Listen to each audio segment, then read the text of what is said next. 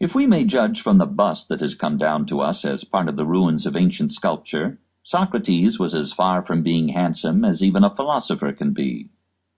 A bald head, a great round face, deep-set staring eyes, a broad and flowery nose that gave vivid testimony to many a symposium. It was rather the head of a porter than that of the most famous of philosophers. But if we look again we see, through the crudity of the stone, something of that human kindliness and unassuming simplicity which made this homely thinker a teacher beloved of the finest youths in Athens. We know so little about him, and yet we know him so much more intimately than the aristocratic Plato or the reserved and scholarly Aristotle. Across two thousand three hundred years we can yet see his ungainly figure, clad always in the same rumpled tunic, walking leisurely through the agora, undisturbed by the bedlam of politics, buttonholing his prey, gathering the young and the learned about him, luring them into some shady nook of the temple porticos, and asking them to define their terms. They were a motley crowd, these youths who flocked about him and helped him to create European philosophy. There were rich young men like Plato and Alcibiades, who relished his satirical analysis of Athenian democracy. There were socialists like Antisthenes, who liked the master's careless poverty and made a religion of it. There was even an anarchist or two among them, like Aristippus, who aspired to a world in which there would be neither masters nor slaves, and all would be as worrylessly free as Socrates. All the problems that agitate human society today and provide the material of youth's endless debate agitated as well that little band of thinkers and talkers who felt, with their teacher, that life without discourse would be unworthy of a man. Every school of social thought had there its representative, and perhaps its origin. How the master lived hardly anybody knew. He never worked, and he took no thought of the morrow.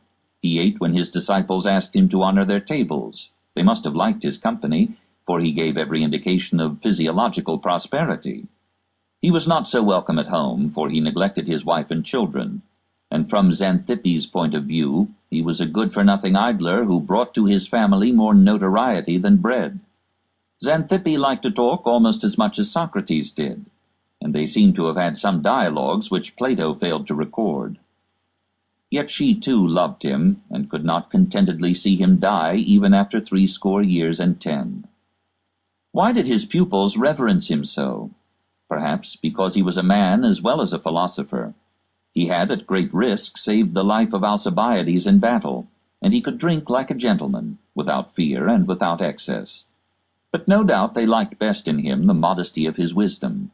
He did not claim to have wisdom, but only to seek it lovingly. He was wisdom's amateur, not its professional. It was said that the oracle at Delphi, with unusual good sense, had pronounced him the wisest of the Greeks, and he had interpreted this as an approval of the agnosticism which was the starting point of his philosophy. One thing only I know, and that is that I know nothing.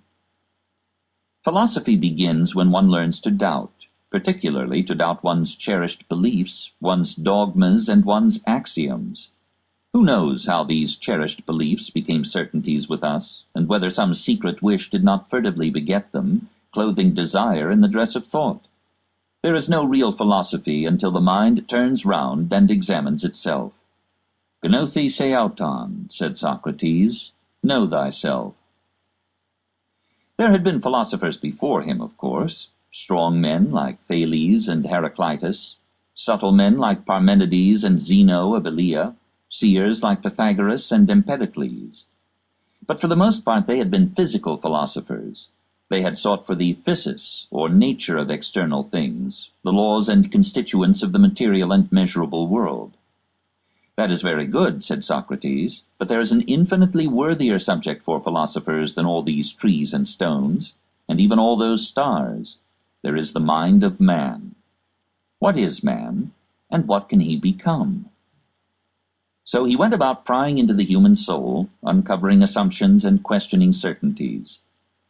If men discoursed too readily of justice, he asked them quietly, Toti, what is it? What do you mean by these abstract words with which you so easily settle the problems of life and death? What do you mean by honor, virtue, morality, patriotism? What do you mean by yourself?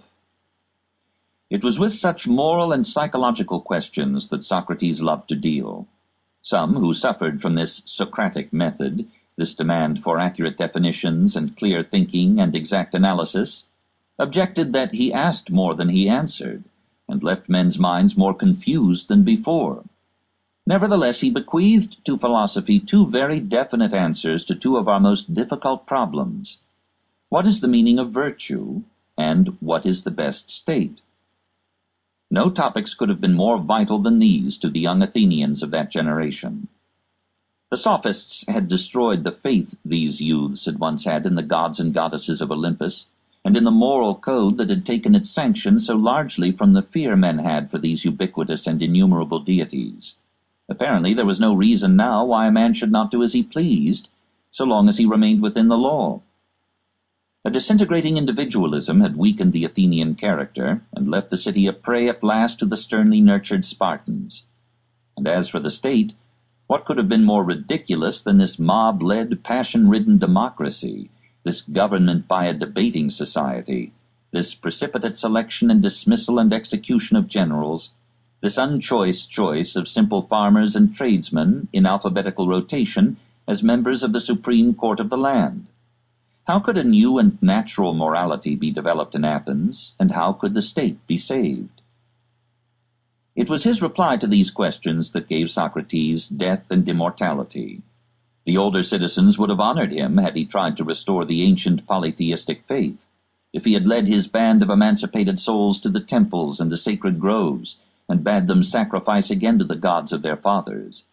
But he felt that that was a hopeless and suicidal policy, a progress backward, into and not over the tombs.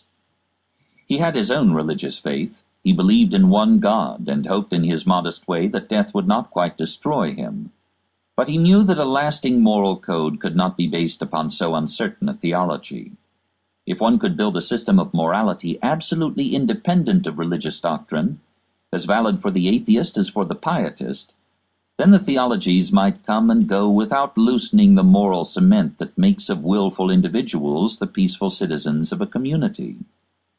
If, for example, good meant intelligent and virtue meant wisdom, if men could be taught to see clearly their real interests, to see afar the distant results of their deeds, to criticize and coordinate their desires out of a self-canceling chaos into a purposive and creative harmony, this perhaps would provide for the educated and sophisticated man the morality which in the unlettered relies on reiterated precepts and external control.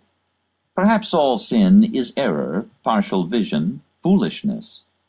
The intelligent man may have the same violent and unsocial impulses as the ignorant man, but surely he will control them better and slip less often into imitation of the beast.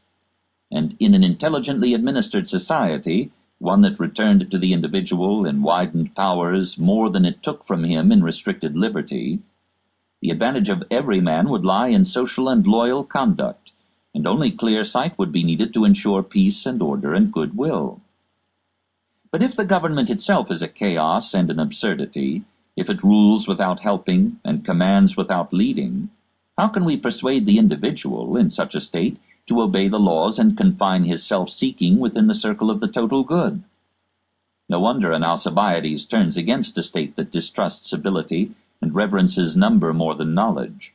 No wonder there is chaos where there is no thought, and the crowd decides in haste and ignorance, to repent at leisure and in desolation. Is it not a base superstition that mere numbers will give wisdom, on the contrary, is it not universally seen that men in crowds are more foolish and more violent and more cruel